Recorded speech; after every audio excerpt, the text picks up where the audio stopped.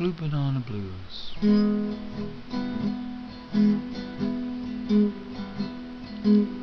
Multinational companies from Liverpool to The Hague. The term was Bernard's concept, now it takes in Paris and Spain. Growing more star shaped with disequilibrium of growth. The economic winners are blue banana inhabitants, so they get to keep their name vicious circle of administrative neglect. That high speed train means peripheral towns with competitive disadvantage. See Europe, Ian Blue Banana, EUPartner.com.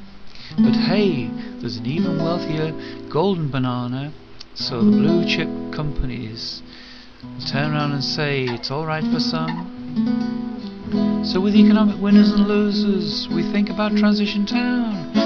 How do we stumble on the concept of blue bananas? Well, we just turned our smiles upside down. If you want a picture of blue banana, Google file bluebanana.svg. Plus Wikipedia Commons, you'll find there a description too. Looks like some strange upright boomerang, or rather, even stranger blue willy thing too. It covers there most of Central Europe Lower East England spoils the view.